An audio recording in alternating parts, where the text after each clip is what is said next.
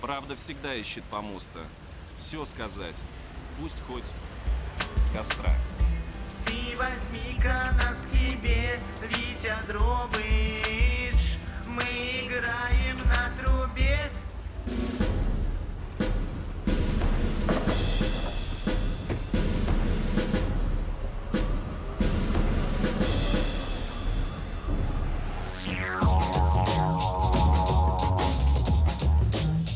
удалился для вынесения приговора и по закону он может готовить приговор от 10 минут, а может и 10 часов, до 10 дней. На суде я привел пример о том, как в Америке провели опыт. И с описания этого опыта а, началось мое последнее слово в суде сегодня. Опыт был следующий. В одну клетку посадили пять обезьян и перестали их кормить. Затем к ним подключили электрический ток с помощью электродов и подвесили банан. Когда одна из обезьян полезла за бананом, всем пятерым ударили током. После этого, когда эта обезьяна решила полезть за бананом второй раз, она от оставшихся четверых обезьян получила конкретных пи***. И за бананом уже не лазила. Затем одну обезьяну заменили. И вот эта обезьяна, которая не знает, что такое электрический ток, естественно, лезет за бананом.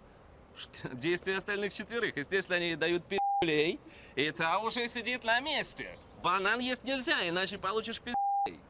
Затем меняют еще одну обезьяну. Она, естественно, лезет за бананом. Но получают пиздей уже не от трех обезьян, которые знают, что такое электрический ток, а от четверых.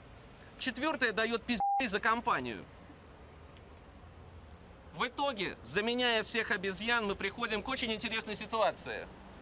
В клетке сидят обезьяны, они хотят жрать, ни одна из них не может съесть этот банан, потому что боится, что остальные дадут пиздей. А те и не понимают уже, за что и пиздюлей-то дают. Это очень напоминает фабрику звезд. И если раньше андеграунд говорил, не бойтесь, обезьяны, ешьте бананы, током вас не стукнет. Я пошел дальше. Я сказал, что вы не обезьяны, вы люди. И как говорил Амар Хаям, великий поэт, человек как зеркало, он многолик, он ничтожен и в то же время велик. Мое последнее слово, которое я практически дословно повторил сейчас вам, произвело такой эффект на адвоката Дробыша, что он посмотрел, улыбнулся и заявил следующее. А я думал, что Сергей Павлович сейчас что-нибудь споет. Виктор Яковлевич Дробыш приезжает к зданию суда на серебряном Мерседесе. А я подъезжаю вот на таком кач-мобиле КАЧ. Мне талант дал Господь Бог. Бог дал, Бог взял. Посредников между тобой и Богом в виде всевозможных продюсеров быть не должно. Я сказал правду, и я не мог молчать.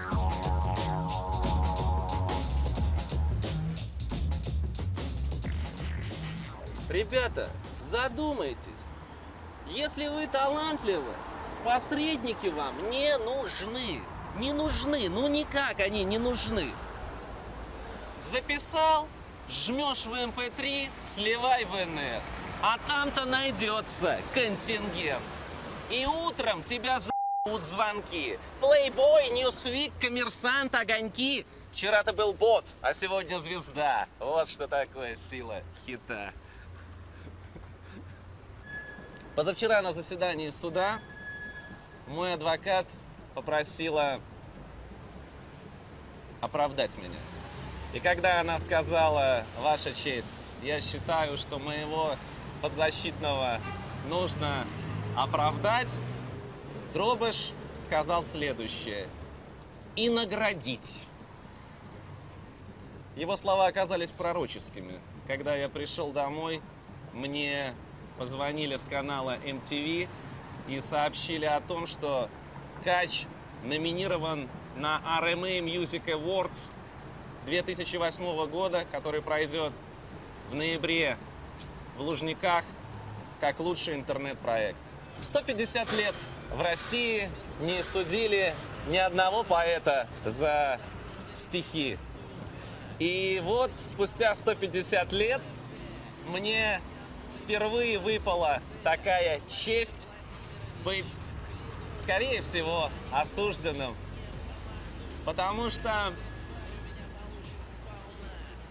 я в понедельник не жду от нашей судебной системы чего-то сверхоригинального, но, с другой стороны, невиновным, не раскаивавшимся я себя не признаю. Ничего бояться не, не нужно, нельзя. И запомните, ребята, можно проиграть сражение, но мы не проиграем войну. Никогда такого не будет. От всей этой шушеры я отличаюсь. Пиши. Москва, Кремль, государю. У войны не женское лицо, но легкая женская поступь, беспечная и сокрушительная.